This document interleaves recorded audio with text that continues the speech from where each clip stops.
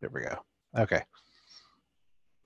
So when it comes to products that are available through the channel, which is uh, for people like you, um, we have security appliances, UTM, um, advanced threat management firewalling or uh, sandboxing appliances, all sorts of different security appliances, wireless LAN products, which is uh, where my focus mostly is, um, computer network switches, hospitality gateways. So these would be like firewall devices specifically designed to be used in a hotel, ca- cafe, or any other place where you're providing guest access, and a number of different pieces of software to provide network management. So we'll talk briefly here about Nebula. Most of you have probably sat through a much longer presentation on this in the past. So Nebula is our cloud managed networking solution. Um, for those of you that don't understand what that means, um, if you've heard of Meraki, it's same sort of idea behind Meraki, uh, only without all the great expense behind it. So some of the benefits of moving your network into the cloud is you can get things up and running in literally just minutes. Um, most settings are automatically configured uh, in the cloud and automatically pushed out to the device once it gets powered on and connected. There's no additional hardware or software required, so no cloud keys, no wireless LAN controllers, um, nothing like that. Plug in the device, go to your web browser, connect to the cloud, and you'll be able to see your new site and all your existing sites. Um, we give you a nice snapshot. You're able to check in on all of your customers, see what's going on on their networks, and easily and quickly jump between your different customers if there's any sort of maintenance, monitoring, or reporting that you need to keep an eye on. So everything's right there in one spot. It was designed from the ground up to make it easy to manage and monitor multiple customers. So some highlights here, there are no mandatory license or subscriptions. This is a big difference between say Meraki, where you must purchase a license every year. And if you fail to purchase that license, you essentially get locked out of your hardware. We don't do that. We do offer a premium version of Nebula, which offers some more features specifically aimed at the MSP market, which probably doesn't interest most of you. Um, but if for some reason that license expires, it simply rolls back to the free version, which takes us to Nebula is free for lifetime at the core basics of Nebula provides management of an unlimited number of customers and an unlimited number of devices. Um, it's not like some of the other cheaper and expensive cloud services where they uh, give you a couple devices for free, they give you a couple customers for free, then you got to start paying. Nope, free version of Nebula, unlimited number of devices, unlimited number of customers. You will never be locked out of your hardware. And in fact, most of the Nebula hardware these days is what we call Nebula Flex that allows you to use it um, either managed in the cloud or managed more traditionally. You can switch between modes at will. So you can always switch out of Nebula and use it as a standalone piece of hardware. So that's our quick summary of Nebula. Um, I want to talk about what's new here with switches. So um, the first line of these rolled out, and I want to say July, and the rest of them just came out last month. These were switches that were designed for IP camera surveillance. Um, we're going Shawn, we're a bunch of guys who do VoIP stuff. Why are we talking about this? Because there are some cool features in these switches that even VoIP, that'll be even beneficial even if you're not doing cameras and you're simply doing VoIP or other network services that use PoE. So one of the first things on there is we offer extended range. We provide Ethernet and PoE um, for a range of up to 250 meters. Traditional PoE and Ethernet is only 100 meters. And this works with any vendor's equipment. So you don't have to buy a proprietary piece of equipment on the other end, such as a proprietary phone system. It'll work with whatever phone systems you currently use and like. Um, it does drop the speed from 100 megabits down to 10 megabits, which should be perfectly fine for doing VoIP. Um, continuous PoE. If you used a lot of other PoE switches. One of the things that happens is if you need to change the configuration, often they have to reboot the switch. Or if you need to do a firmware update, when it gets done, it has to reboot the switch. And during that time, PoE gets turned off. So one of the things these new series of switches does is it keeps the PoE going even if the switch itself is going offline to apply a configuration, reboot, et cetera, et cetera. So the connected devices should never lose their PoE power. Um, we've got a nice device status screen in the device, um, so you can log in, see all of your phones, whether they are online or not, um, what speed their connection is, how much PoE power they are drawing. You can see, even see the name for the device, the IP address. And you can use this screen here to power cycle one of the devices should you need to reboot it for some reason. We've also got a cool auto recovery mode. So we've got a couple different ways of doing this. We can monitor each individual connected device, either using LLDP or using a ping. Um, and if it sees that the device becomes non-responsive, and you can define, you know, what counts as non-responsive, one ping drop, two ping drops, etc. Um, we have the option to either make a note in the log that the device went offline, or we can automatically reboot the device for you. Um, we've got a number of settings here to say how long we should wait once we reboot the device before we resume pinging again to give it the proper amount of time for it to reboot back up and get connected back onto the network. And then these switches here are designed to be even more heavy duty than our typical switches. Um, specifically, um, we've doubled the electrostatic discharge protection. So that's like if you've ever um, reached out and touched a doorknob and you get a little shock there, that's electrostatic discharge. You don't want that going into your switch. So we've increased the protection there. We've also given you four times stronger surge protection. So that's, uh, you know, power surges coming in through the AC power. So we've done both of those for you there to help make sure this device lasts a long time. We've also increased the temperature range that these devices are able to handle so they can handle much warmer temperatures. So this makes it ideal if you're putting things, you know, your customer doesn't have a dedicated proper wiring closet that's climate controlled. So you're putting this in some dusty little closet or out of the way nook and cranny. No worries, these will continue to operate and work um, just fine in those tough environments. Um, and for some reason, should they not, they've got a lifetime warranty. So we've got two series of switches. The 1300s are unmanaged. The 1350s have a web GUI for managing them. Um, I'm not going to go through too much of the differences here on them, but I do want to go ahead and call out the uh, GS 1350-6HP. This is our first switch that supports the new 802.3BT PoE standard. So this is a new PoE standard that can put out 60 watts of power on a single port. Traditionally, originally, um, PoE was limited to 15.4 watts. There was the AT standard, which has been um, pretty standard for pretty much everything these days, which is up to 30 watts, and now the BT standard, which does up to 60 watts. So that 1350-6 HP is our first switch that supports it. You're mostly going to see demand for this for the new 802.11ax or Wi-Fi 6 access points. Um, or if you're doing cameras that have pan tilt zoom on them, some of those require a lot of power, especially if they're 8K cameras. So that is it for our switch. So now we're going to start talking about Wi-Fi 6. What is it? Why should you be interested in it? You're probably seeing a lot of about it right now. And if you haven't yet, you're going to start seeing tons and tons of marketing revolving around this. And it is something, if you're doing a lot of VoIP and you're doing VoIP over Wi-Fi, you should really pay attention to. It solves a number of the problems um, that people have using voice over Wi-Fi. So we'll talk a little bit just about voice over IP. As I'm sure many of you guys know, it doesn't require a lot of bandwidth, yet it can be really finicky when it comes to voice quality and making your end users happy. Um, and, the, and the reason for that is really simple. You're doing real-time communication with each other. Unlike a Netflix stream or a YouTube stream or something like that, you, you can't solve a lot of the issues of drop packets and things like that by buffering. Because when you're talking to someone, you can't wait for those packets to come in if they get dropped. You can't deal with stuff coming in, you know, in the wrong order. Otherwise, people get really frustrated really quick.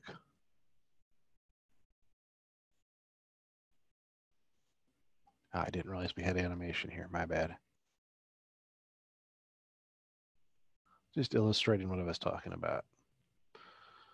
So Wi-Fi compounds this and makes it even tougher than if you're doing wired VoIP um, for a couple different reasons. One, when we're talking traditional Wi-Fi, even 802.11 um, AC stuff, only one device is allowed to transmit at a time. the access point and the client are using the same frequency to broadcast. So they each have to take turns. And as you add more and more clients, all of those clients and access points all have to take turns broadcasting. So you really quickly run into a situation where the you start you get multiple devices trying to broadcast and talk at the same time. They start interfering with each other, packets start getting dropped. In addition, you're using either the 2.4 or the 5 gigahertz spectrum, and that's being shared with other access points, including those of your neighbors cordless phones, Bluetooth, microwaves, game console controllers, just about anything you can think of that is wireless in some means is using that 2.4 or 5 gigahertz spectrum. So that all has to take turns sharing that space with your access points and with your client devices that are doing VoIP. So the net result of that is you tend to get a lot of drop packets, a lot of retransmits, which means either voice quality is being dropped or being garbled as it's being sent. So Wi-Fi 6 is is what we're pitching here as being the solution, and I really think this legitimately is going to make a huge difference when it comes to voice over Wi-Fi quality. Um, so Wi-Fi 6 is the term being used to describe the new 802.11ax standard. Um, if you look at some older marketing materials, you may see it called high efficiency Wi-Fi. Um, it solves a number of issues when it comes to Wi-Fi. Um, it's essentially a complete rewriting of how Wi-Fi works, specifically to optimize things and make things uh, more responsive to today's modern usage of a network, rather than how networks were used back in the 90s when 802.11 first came around. Um, so one of the key things here is increased latency sensitivity for, or decreased latency for latency sensitive applications such as voice and gaming they're using a lot of technologies that make voice over your cell phone work to Wi-Fi, which is why oftentimes you don't run into that many problems when using your cell phone like you do tend to do when you're using voice over Wi-Fi. So one of the things that we do here is something called downlink and uplink MU-MIMO. So with 802.11 AC Wave 2 equipment, if you were lucky enough to have the right client devices, you could do something um, called downlink MU-MIMO, which allowed your access point to send data simultaneously to multiple clients. Um, so that's a good thing, right? You now instead of each device having to take turns to talk, um, at least on the listening side of things, you can have your access point talk to multiple devices at once. 802.11ax improves how that works and also adds the ability now for multiple client devices to send data at the same time back to the access point. So now you can have multiple people talking on their phones over Wi-Fi and having it simultaneously transmit data from multiple people at the same time to that access point.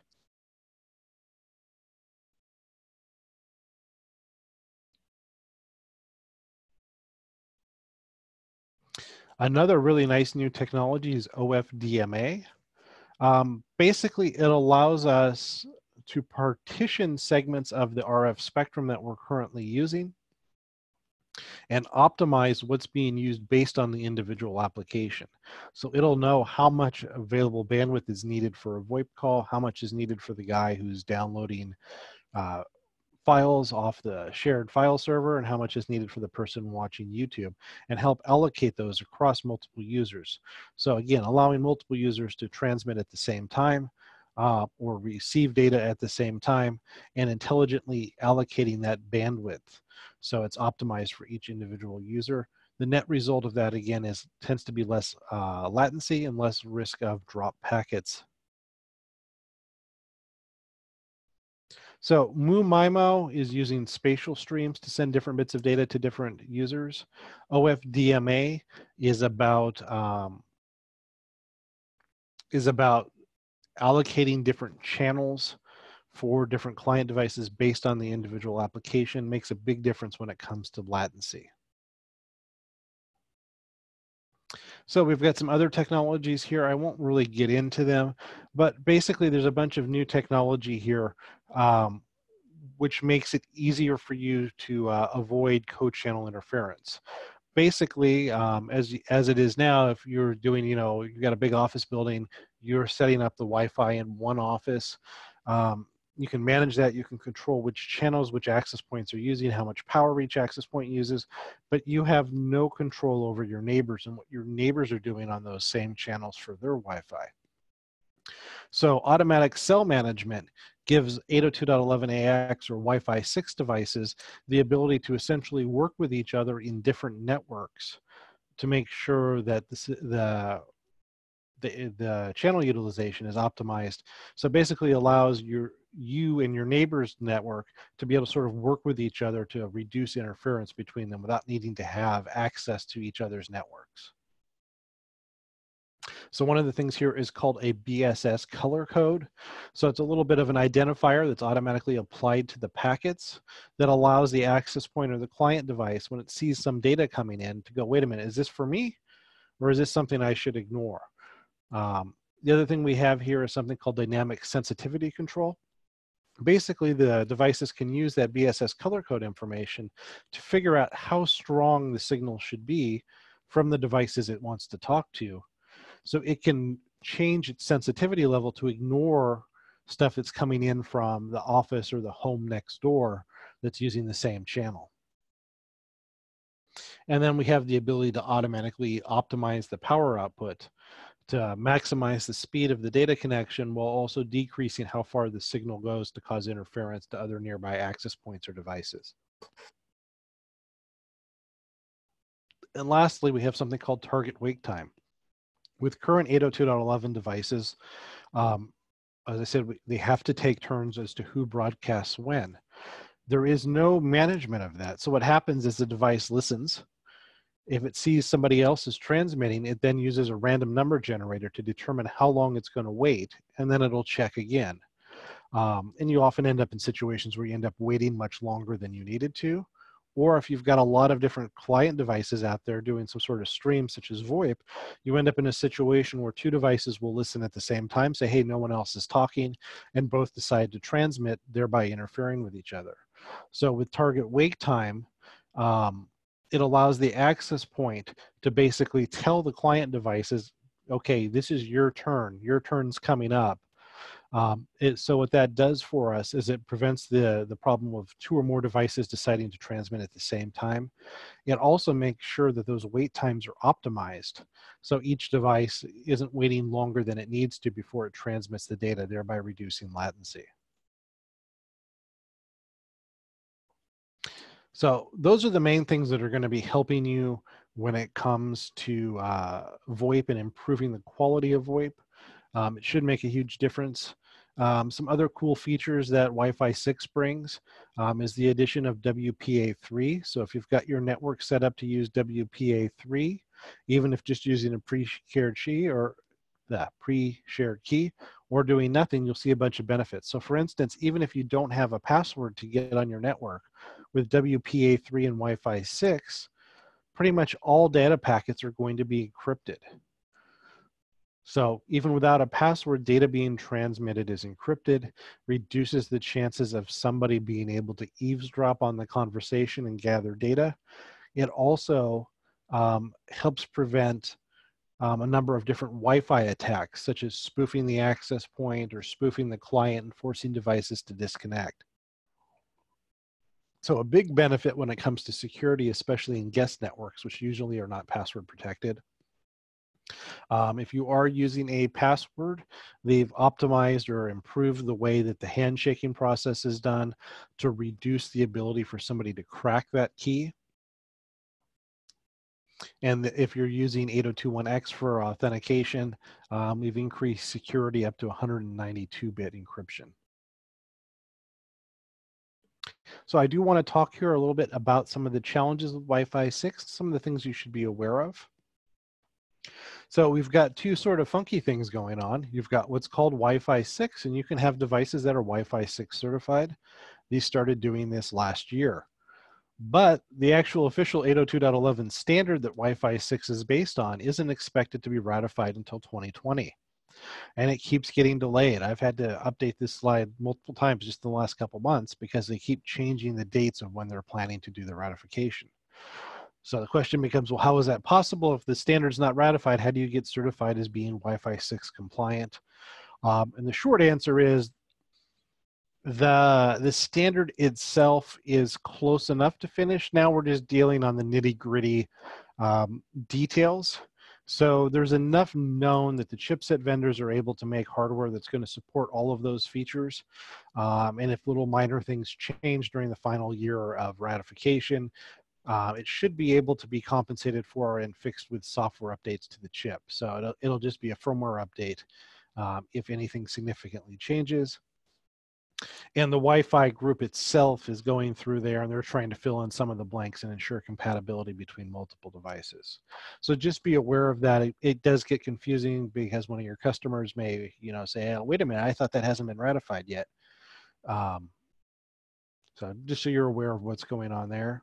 The other big problem you're going to run into is everybody and their sister is running out there to try to market their product as Wi-Fi 6 we had companies launching product a year ago claiming to be Wi-Fi 6 compatible. Um, so basically, anything that launched probably before August of this year um, that calls itself Wi-Fi 6 is going is not truly Wi-Fi 6. It's kind of like how AT&T, um, in the rush to call their product 5G, just rebranded part of LTE as 5G with the letter E afterwards, 5GE, um, to confuse the market. It's the same sort of thing here. There's a number of the significant improvements in Wi-Fi 6 that are not going to be supported in the earlier generation chips, whether it's Broadcom or Qualcomm based. So just for comparison here, I've got the Qualcomm Gen 1 and the Qualcomm Gen 2. So you'll see here the uplink OFDMA, not supported in Gen 1, never will be supported. Um, Uplink MIMO, not supported, never will be supported. Um, that timed wake, never going to be supported. BSS coloring, never going to be supported.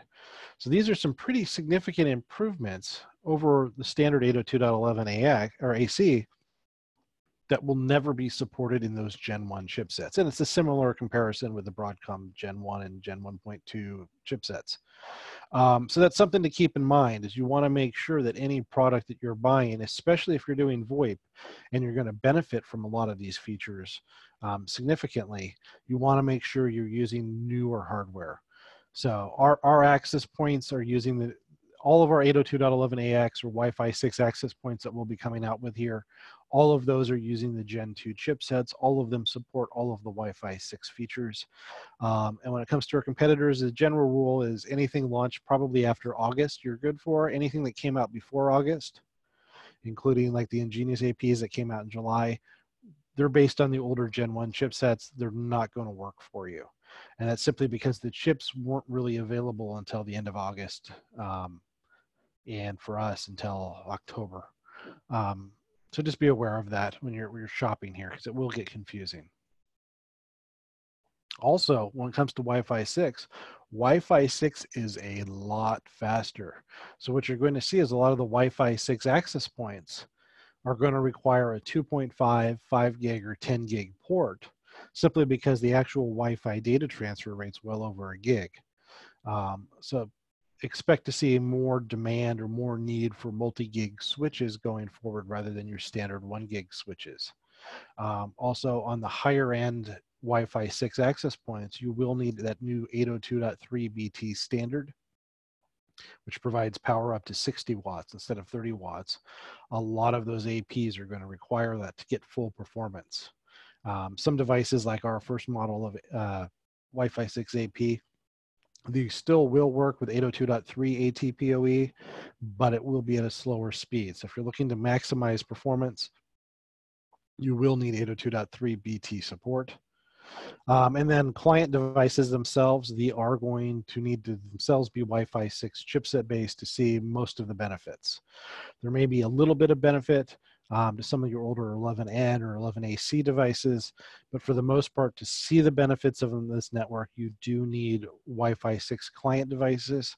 And the more of your client devices on those networks that are Wi-Fi 6, the better it's going to perform. Um, older devices will force some of the features into compatibility mode, so it will degrade performance even on some of those Wi-Fi 6 devices in some cases. And then last and not least, if you are not part of our reseller partner program, please join. Simply go to our website, fill out a short form. Um, as a next gen member, um, you automatically get gold status. So you automatically get a 20% discount for all Zyxel products purchased through distribution. Um, our products are available through D&H, Ingram Micro, Synnex, Wave, and Target distribution. Um, and again, once you get set up in our partner program, you provide us your account information uh, each, at your distributor, and you will automatically get your discount applied to any Zyxel product you purchase. No need to fill out a uh, deal registration, no need to request a SPA. Everything will automatically get an additional discount above and beyond your normal distribution discount. So that concludes today's presentation. Um, so if there's any questions, send them in with Q&A box here and I'll answer them for you. So far I don't see any. Um, otherwise, I thank everybody for turning out today. Um, I hope this was beneficial for you. And as always, if you have any feedback or any information you want to provide to us, you can reach out to me directly. I'm Shawn, uh, Shawn R, S-H-A-W-N-R at Zyxel.com. Or reach out to whoever your salesperson is, Sandy, Jeff, Jacob, Ivan, um, and let them know, you know, did you like today's webinar? Did you not? Is there some things you'd like to see done differently in the future that would make them more valuable for you to join? Um, give us that feedback, let us know. We also do a number of webinars, usually uh, one or two a week on various different topics every month. Um, everything from best practices to product introductions to um, application scenarios. So again, let us know what sort of information you'd like to see that would make your life easier. Um, and we'll see if we can put together a presentation and webinar for you. We need your suggestions to know what you actually find valuable. And I am not getting any more, any questions in. So if you were writing a question, highlight it, copy it, and email it to me. I'm gonna go ahead and end today's webinar. Thanks everybody.